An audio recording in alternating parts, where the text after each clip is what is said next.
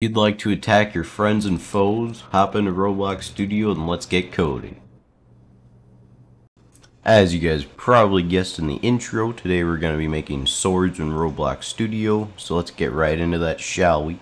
Inside of the workspace over here, you can click on the plus icon to the right of that and then go ahead and add in a tool. This tool I'm going to press F2 or you can click on it or you can go into the properties and change the name of it and I'm just going to change the name of it to sword. Just like that. And now we're gonna need a part. So inside of this part button right here you can go ahead and click on that. So this will be our blade for our sword. I'm going to flatten it out make it look more like a sword blade. Something like this.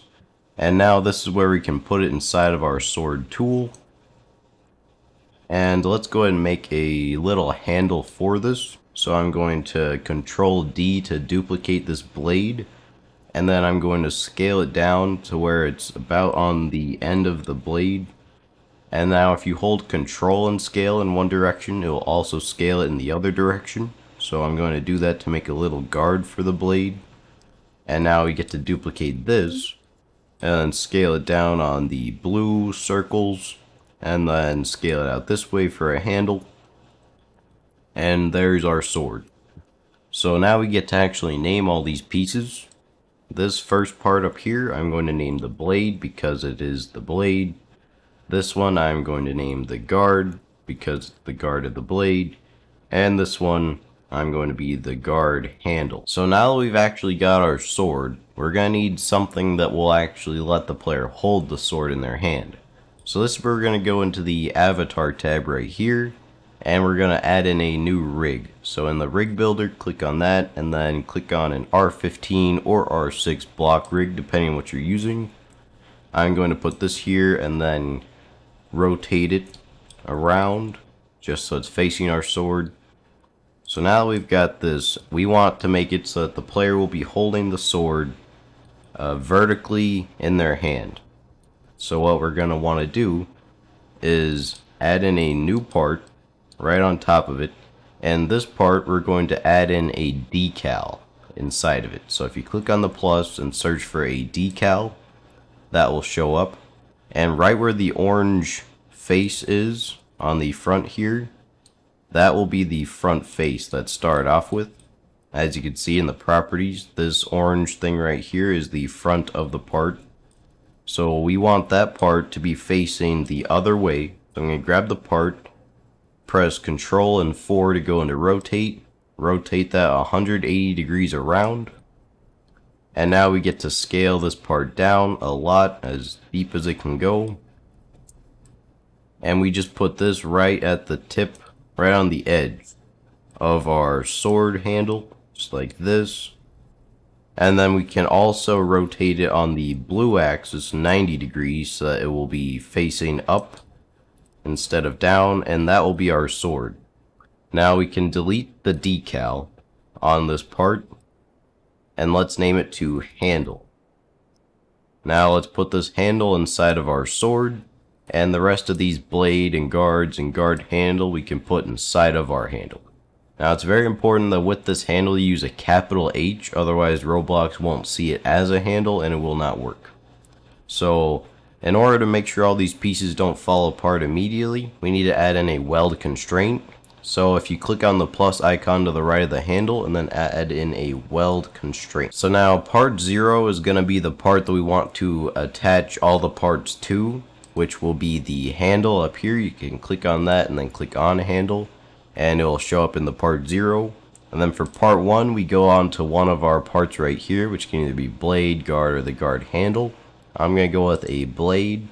And now we can duplicate the weld constraint with Control and D and change part 1 to guard and then duplicate it again and change part 1 back to guard handle.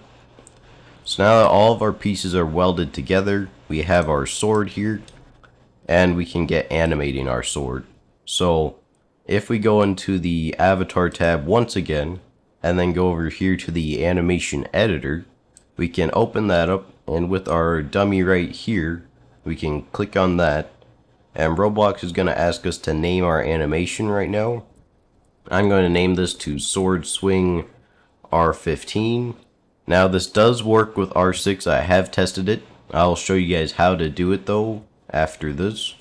So as soon as you have your little dummy right here, you can click on the little plus icon right here underneath the time frame and add in the entire body of the dummy. And on the three dots to the left, make sure that your animation priority is set to action. So now we've got that over here with our dummy, we can make our little swing animation. So on the first frame, I'm going to have him start in a swinging position almost. Kind of like this. And then about the 0.06 second mark, I'm going to just bring his arm all the way across. Like this. So he can kind of slash at whoever's trying to get him. And that is actually perfect for a sword swing. So now we get to move his arm back to as close as we can to where it was before. Just like that. So now we have his sword swing. And I just eliminated the other keyframe. Make sure you move it over to like 09 or so. And then make sure you reposition it, reanimate it. So there's our little sword swing right there. You can feel free to animate this to your heart's delight and make it look as cool as you possibly can. I'm just going to leave it as this for now for the sake of the tutorial to show you guys how to do these things. So now we have our animation made and our animation priority is set to action. We can go and click on the three dots on the left here again and then click on publish to Roblox. This little window should pop up where you get to name your animation, add a description to it if you want, and even change the creator of the animation, which is good if you're not a solo developer or you're working in a group. But I am not doing that, however, so I will just be leaving it as me, and I'll submit. So now after this is loading, there will be a little ID right up here next to the this icon. Now, you can either copy this icon here or you can go to their website and copy it from the URL bar.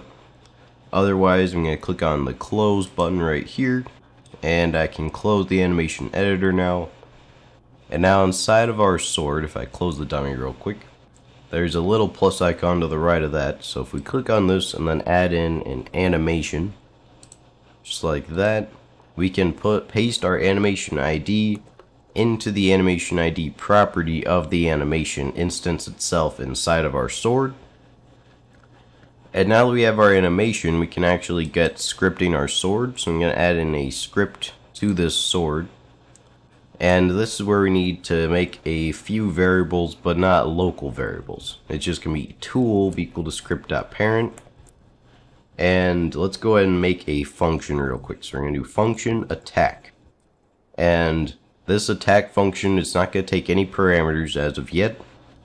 And we're going to get our animation. So this will be local anim will be equal to tool wait for child animation.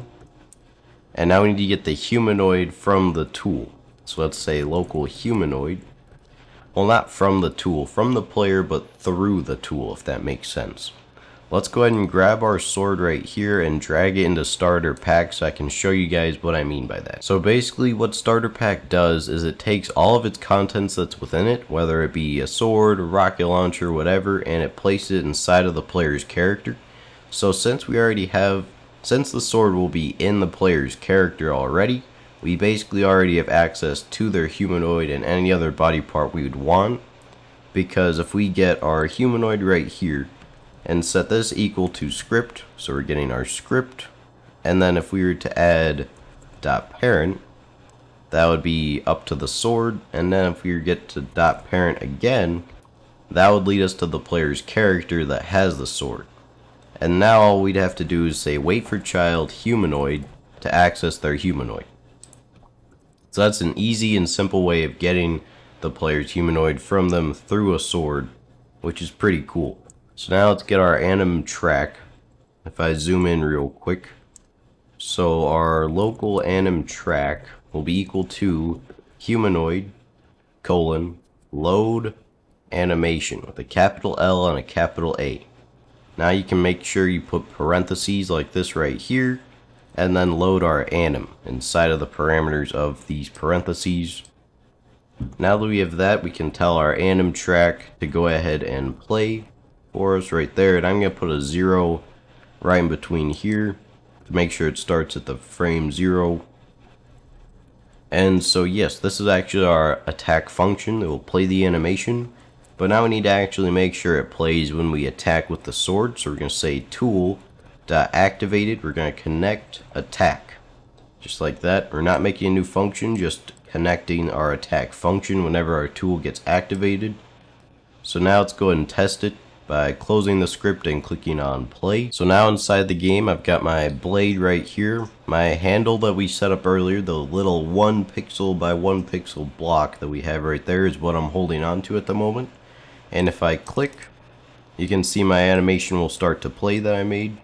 So we have our animation working now, but we're going to want to debounce so that players can't absolutely spam it like this. So if we go ahead and click stop, and go back into our sword script, let's get making that debounce. So up here in line 2, I'm going to say debounce equals to nil, so won't be existent right there. But if we say if debounce equals equals to nil, then, right up here, we're creating a new if statement, and we can just copy these four, five lines of code technically, since there's a space right here, but if we just cut these lines of code and paste them right up here, now our debounce has to be nil in order for us to attack. And then we're going to set our debounce equals to true after the animation plays. And then we're going to wait the 0.09 seconds that our animation was. And then I'm going to set the debounce back to nil. Now, it's something as simple as that that will make a debounce, and now we should add some damage to it. So let's go ahead and say tool dot handle dot blade dot touched connect function. Now you can, if you don't have a blade and you're just using a single mesh part for your sword, which would be from Blender, you can just use the handle dot touched. It won't affect the player that's wielding it at all. So yeah, you can keep that in mind, and this function is going to take the parameter of hit. So now we need to get our player variable, which will be player local player is equal to game.players get player from character hit dot parent. So we have our player now, and if it is our player and our debounce equals equals to true, then we're going to go ahead and say player for child humanoid and then we're going to get their health property and we're going to minus equals about 3 health or so from them. Just like this. So now whenever we have our debounce which is equals to true and our animation is playing we can go ahead and deal damage. 3 damage exactly but it's going to account over time for quite a bit of damage.